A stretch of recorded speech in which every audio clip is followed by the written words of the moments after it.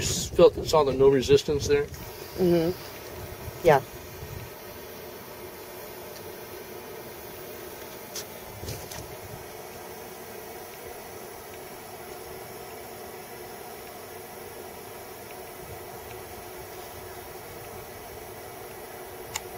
See, and it doesn't matter how close pets or or, fam- or kids are, Right, right. because it inactivates as soon as it hits the air.